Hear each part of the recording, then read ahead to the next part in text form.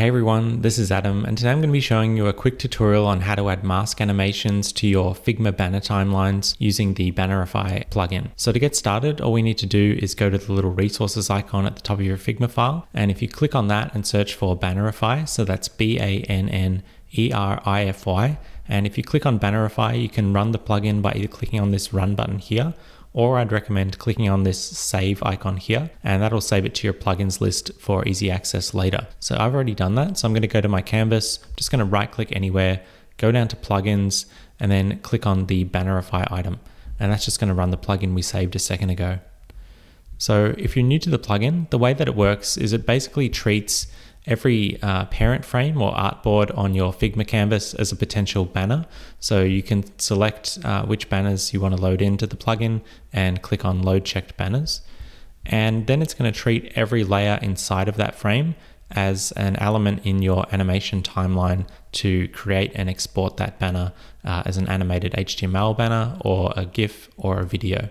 So I'm not going to go through all of the features in the plugin today. There's a bunch of other tutorials on the YouTube channel if you want to go into detail. Today I'm just going to be focusing on some new animation features which allows you to add mask animations that look like this.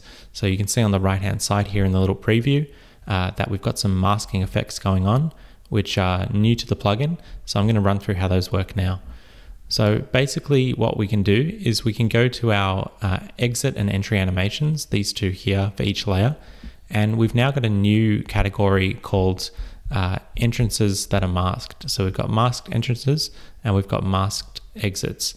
So if we scroll down here, you can see we've got two different uh, categories for those.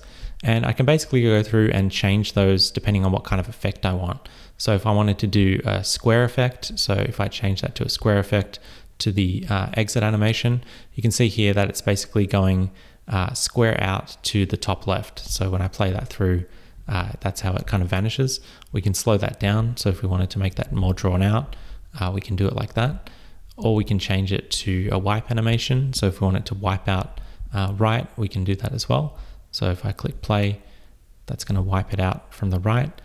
Uh, same thing with the entrance. So I can add uh, wipe in effects. So I can do more of a wipe in from the top to the bottom, or I can do uh, wipe in left and that'll apply a different uh, position as well.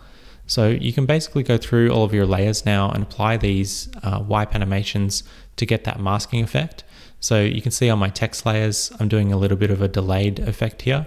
So I've got uh, these three here and I'm slightly delaying them. So that's 0 0.3, 0 0.4, 0 0.6.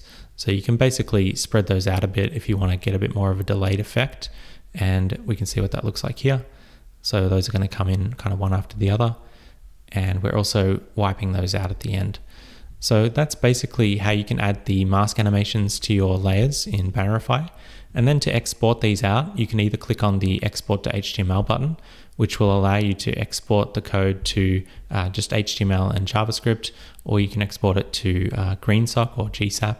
Uh, or if you're using a specific ad platform, you can select that as well. So we could do uh, Google Ads, for example, click on that and click on export banner and this will generate all of the code, all of the images that we need.